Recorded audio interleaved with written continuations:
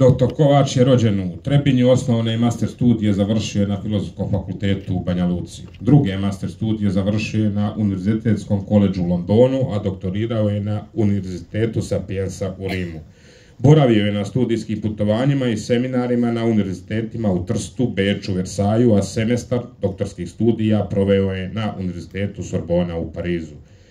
Dobitnik je mnogih nagrada i priznanja poput Svetosavske nagrade, Zlate značke kulturno-prosvjetne zajednice Srbije. Zaposlen je u gimnaziji Banja Luka, a njegova sfera interesovanja su politički odnosi između NDH i Italije.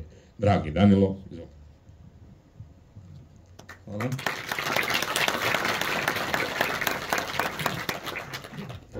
Dame i gospodo, dragi prijatelji, počastovan sam što sam večeras u Nevesinju, toliko čuvenom po svojoj istoriji. Imam naročito čast i zadovoljstvo što ću govoriti o knjizi uvaženog kolege, historičara Radana Lazara, koja je posvećena poručniku Krstu Đeriću. Kao što nam je svima poznato, napadom nacističke njemačke sila osovine na Jugoslaviju počeo je aprilski rat. Aprilski rat je trajao svega 11 dana i završio se komadanjem Jugoslavije. Aprilski rat se nije bio ni završio, a već je proglašena nezavisna država Hrvatska. Kao što je to gospodin Lazar Radan lijepo objasnio u svojoj knjizi, to njeno osnivanje 10. aprila bilo je pogubno za srpski narod koji ju je nastanjivao. Već u aprilu mjesecu zabranjena je Čirilica, a odmah nakon toga je donesen čitav niz zakona koji su stavljali kako srpsko, tako i jevrejsko stanovništvo van svake zakonske zaštite. Odmah nakon donošenja ukaza o zabrani Čirilice, vrlo brzo su Srbi i jevreji morali da napuste određene dijelove grada Zagreba, nisu mogli da se kreću onim dijelovima grada kuda su oni željeli, zabranjeno je bilo da se okupljaju u većim grupama, nisu smjeli da plešu i tome slično. Dakle, na taj način je stvorena zapravo jedna zakonska osnova koja je podspješivala zločine, a ti zločini će tokom narednih godina i već tokom ljeta prerastiti u genocid. Sama priroda zločina i njihov obim su bili takvi da su štetili i samim vlastima NDH i ugrožavali su njihov ugled u očima njihovih saveznika.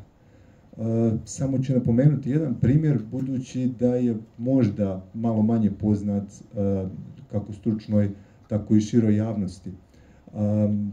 Diplomatski predstavnik Višijevske Francuske, Georges Guiraud, boravio je sve vrijeme u Zagrebu i izvještavao je svoje nadređene o tome šta se dešava u Zagrebu i cijeloj nezavisnoj državi Hrvatskoj. Ako pratimo njegove izvještaje, vidjet ćemo da je on u junu mjesecu 1941. godine nije vjerovao u potpunost informacijama koje do njega dolaze. Tako kaže u junu mjesecu da je potrebno razlikovati istinu od elemenata pretjerivanja. Da bi već u avgustu mjesecu 1941. godine i u svim svojim narednim pismima vidimo da on u potpunosti vjeruje svim informacijama koje do njega dolaze, pa mi dopustite da pročitam jedan odlomak iz jednog od njegovih brojnih pisama koje svjedoče o zločinima nad Srbima. Svjedočanstva očevidaca, u čiju vjerodostojnost ne sumnjam, govore o scenama pokolja koje naš um ne može da pojmi. Ne usuđujem se da procijenim broj žrtava u selima Bosne i Like. Procjenjuje se 5000 ljudi po samo jednom distriktu. Ozbiljan svjedok navodi broj od 2000 ljudi samo u Bosanskoj krupi. Mladi Ustaša, užasnut scenama kojima je svjedočio, a i sam učestvovao, priznao je da je sto Srba ubijeno iz pušaka i pištolja, dok je preostalih 300 zaklano noževima zbog nedostatka municije. Nijemci su savjetovali hrvatske vlasti da prekinu ovu praksu.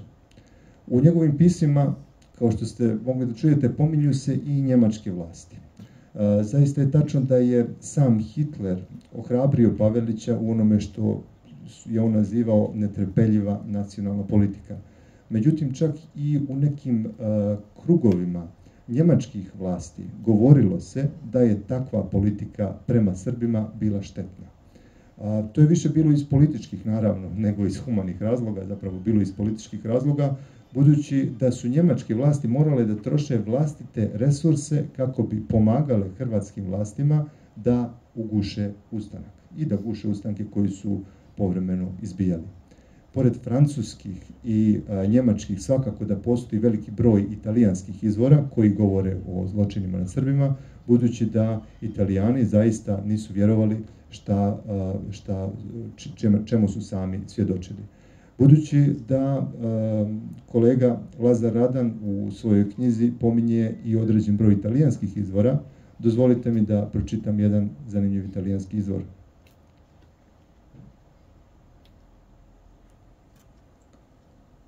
Izvor je nastao dakle u junu 1941. godine, a napisao ga je general Furio Monticelli, koji je obavještavao svoje nadređene onome šta se dešava i čemu je sam svjedočio. U ovoj zemlji političko stanje je svakim danom sve teže. Uprkos mojim preporukama šefu oblasti i uprkos garancijama dobijenim od logornika, režim terora protiv srpskog stanovništva koje je ovdje većinsko svakim danom je sve gori. Protivno svakom osjećaju ljudskosti i pravde vrše se pljačke novca, pokućstva, ličnih predmeta, svakakve trgovačke robe. Od žena se uzimaju čak i šivaće mašine da ne mogu da rade. Masovna hapšenja se nastavlja ubrzanim ritmom. Hapšenje ljudi koji se nikada nisu bavili politikom i koji po riječima samih Hrvata nikada nikome ništa nažao nisu učinili. A današnji slučaj hapšenje jednog mirnog penzionera uhapšenog samo zato što je Srbin. Svaki pravoslavni sveštenik još na slobodi biva uhapšen. Danas je uhapšen pravoslavni sveštenik rođen u Benkovcu u blizini komande divizije. Postoji ubjeđenje da od uhapšenih niko ne izbjegne smrt, da o egzekucijama odlučuje jedan pseudo-tribunal formiran u Gospiću i da djeluje na osnovu dojava lokalnih manijaka, te da je u suštini izraz i sredstvo ličnih odmazdi i osveta. Masa ustaša u zanosu vlastite ostrašćenosti i ličnih osveta pokazuje bestijalnu dušu, ne mareći ni za kakvu formu, pa ni onu spoljašnju civilizacije, kako bi pokušao da prikrije vlastita neljudska djela. Premlaćuju žene u vlastitim kućama, a poneka kako bi se spasila od nasilja, baca se kroz prozor. Ta masovna ubistva, ničim zaslužena aktualnim ponašanjem srpskog stanovništva, izazvala su od svih italijanskih oficira i vojnika osjećaj prezira i odvratnosti prema tom ološu, nesposobnom da sebe, a kamoli druge kontroliše, nedostojnom da obavlja ikakvu upravu nad civilizovanim svijetom. Svaka simpatija prema hrvatskom narodu je nestala od kad smo primorani da gledamo ovo što oni rade. Moralno stanje italijanskih trupa svakim danom je sve teže. Savršeno nam je jasno da nas Hrvati jedva tolerišu, ali je još gore što moramo, ne reagujući, da gledamo nasilje i pokolj, što nam nije dozvoljeno da intervenišemo kako bi ga onemogućili, a to u svima nama izaziva osjećaj dubokog nezadovoljstva koji čini nepodnošljivim u punom smislu te riječi naš dalji ostanak ovdje. Gledajući i ne reagujući, dobijamo osjećaj da smo i sami saučesnici tih nasilja i brutalnosti koje će istorija zasigurno teško osuditi. Tokom današnjeg dana vojnici 127. grupe artiljerije su prisustovali, vraćajući se sa vježbe, tužnoj sceni žene sa djecom iz obližnjeg sela, silom protiranih iz vlastite kuće, dok su Ustaše masovno hapsile muškarce.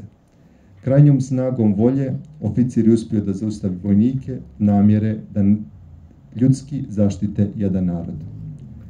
Želja mi je ekscelencijo da vam jasno predočim vlastite utiske kao čovjek i kao vojnik, jer osjećam da uprkos duboko usađenom osjećaju discipline u meni samom i u mojim vojnicima i želji da uvijek ispoštujem dobijena naređenja, ne mogu da garantujem da nasuprot nasilju koje se vrši ovdje pred našim očima neće doći do naše intervencije koja bi mogla da povrijedi osjetljivost i osjećanja domaćih vlasti. U ovakvom ambijentu, u raznim dijelovima nezavisne države Hrvatske, a svakako i u istočnoj Hercegovini, izbija ustanak. Kako je kolega Lazar Radan lijepo objasnio, takav e, tu vrstu, dakle ustanak u samoj Hercegovini u junu mjesecu, historiografija naziva junskim ustankom. U svojoj knjizi e, Lazar Radan hronološki prati ustanak, pominje Hercegovačke jame, pogubnost lijevih skretanja i obrađuje mnoge druge teme. Najveći doprinos knjige predstavlja činjenica da o Krstu Đeriću ništa ranije nije napisano. U svojoj knjizi Lazar na zanimljiv način ukazuje na pitanje sjećanja na poručnika Krsta Đerića i to su samo neki od razloga zbog čega bih ovu knjigu najtoplije preporučio kako široj javnosti, tako i stručnoj, tako i stručnim čitavcima.